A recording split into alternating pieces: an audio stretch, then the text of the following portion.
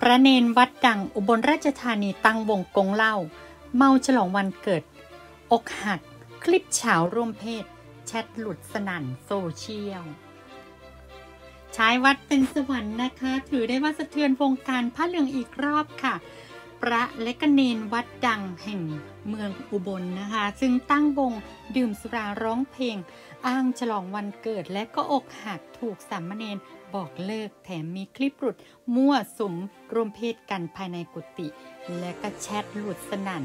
ทั่วโซเชียลนะคะ ผู้สื่อข่าวรายงานวันนี้นะคะ 22 กุมภาพันธ์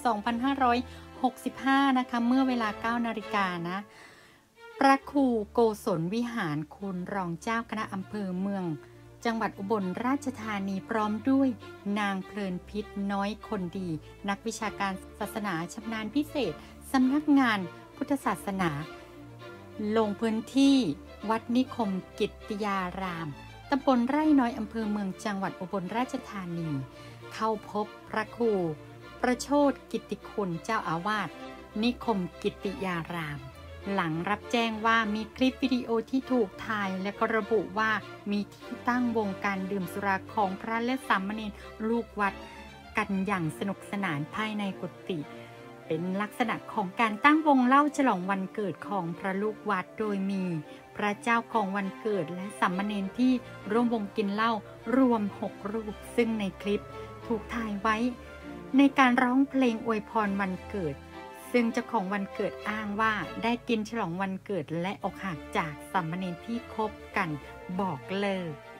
นอกจากนี้ยังมีการตั้งวงเล่าอยู่เป็นประจำสร้างความเอื่อมละอาให้กับชาวบ้านในพื้นที่เป็นอย่างมาก แต่ก็ทำอะไรไม่ได้นะคะ ที่ผ่านมาได้ไปแจ้งความที่สถานี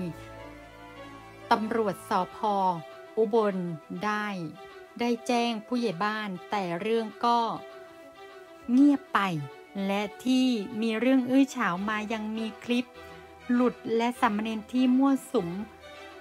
ร่วมเพศชายรักชายภายในกุฏิใช้วัดเป็นสวรรค์โดยไม่เกรงกลัว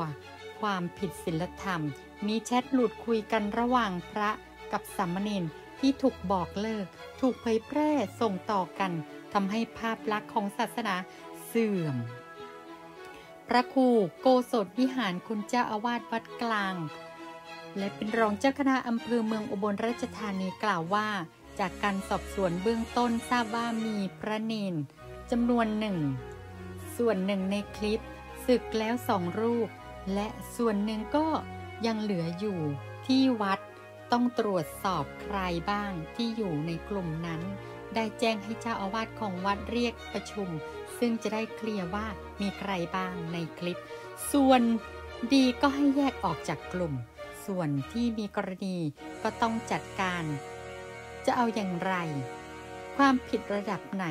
ต้องมาดูกัน นี่คือข้อสรุปส่วนอย่างอื่น ทางคณะฝ่ายสงฆ์สงฆ์ปกครองก็จะได้แก้ไขลงโทษ และก็ดูหลักฐานในเรื่องของการตั้งวงกินเหล้า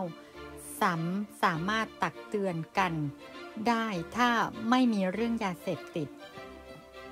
ในกรณีนี้ เรื่องที่ผ่านมาแล้วเจ้าอาวาสอาจจะเรียกมายังไม่ถึงขั้นศึก ส่วนกรณีที่มีการถ่ายคลิปร่วมรัก เพศถือว่า ร้ายแรง ส่วนการดื่มสุราเป็นเหตุ ความผิดซึ่งหน้า ก็สามารถจับศึกได้ แต่เหตุการณ์ ล่วงเลยมาแล้วอาจจะตักเตือนไม่ให้ทำอีก และต้องมีการบันทึกไว้ นางเพลินพิษ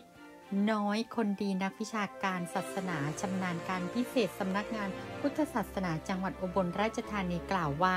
คลิปที่ออกมานั้นเป็นเรื่องพฤติกรรมของพระที่ไม่ค่อยเหมาะสมพฤติกรรมของพระสงฆ์ เป็นอำนาจหน้าที่ของสงฆ์คณะสงฆ์ที่จะต้องไปดูแลสอบสวน ดูว่ามีความผิดมากน้อยแค่ไหน ถ้าชัดเจนก็ต้องดำเนินการตามพระวินัย เป็นอำนาจที่หน้าที่ของคณะสงฆ์โดยตรงค่ะ ด้านชาวบ้านในพื้นที่เล่าว่า แม้จะขึ้นอยู่กับตัวบุคคลแต่ก็สะท้อนให้เห็นถึงปัญหาพุทธศาสนากำลังเผชิญอยู่ในปัจจุบัน ถึงเวลาหรือยัง ที่สำนักพระพุทธศาสนาและหน่วยงานที่เกี่ยวข้องต้องเร่งแก้ไข